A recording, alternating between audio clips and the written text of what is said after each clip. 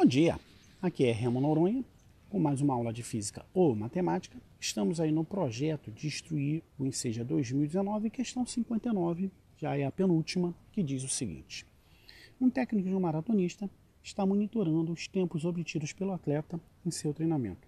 Ele registrou o tempo gasto e a distância percorrida durante uma sessão de treinos, conforme indicado. Em seguida, ele observou que o tempo gasto era diretamente proporcional Bem, isso aqui mata a questão, tá? Proporcionalidade entre tempo e distância.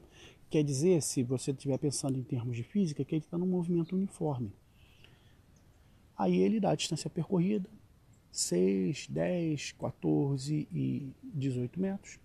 Um tempo gasto em minutos, 18, 30, 42, 54. Repara aqui, ó, que daqui para cá 4, daqui para cá 4, daqui para cá 4.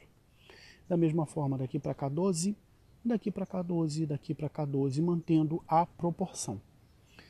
Para divulgação na imprensa desses resultados, optaram em representar os dados no gráfico cartesiano, demonstrando a distância percorrida e o tempo gasto. Qual gráfico?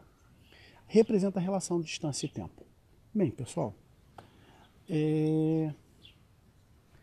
como se trata de um movimento uniforme, você já pode ir lá tranquilaço marcar a letra A de anarquia e não se fala mais nisso. E repara aqui, ó, que seus tempos estão 18 e 6, 30 e 10, 12 40 e 42 e 14, desculpa, 54 e 18, bonitinho como está na tabela. Legal? Então, repara que a relação é linear e você não tem muito o que discutir isso.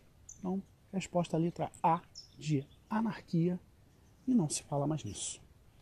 Bem, pessoal, questãozinha, molengo tengo, né? Se você sabe o basicão de física, né, o movimento uniforme, você mata essa questão sem grande susto. É isso. Aqui a gente tem aula todo santo dia. Deixa o like aí. Compartilha com os amigos se gosta do trabalho, com os inimigos se não gosta tanto assim. Mas principalmente dá uma olhada na descrição do canal, onde está escrito sobre, que lá tem um drive com um montão de PDF gratuito para te ajudar. E não mais aquele enorme abraço.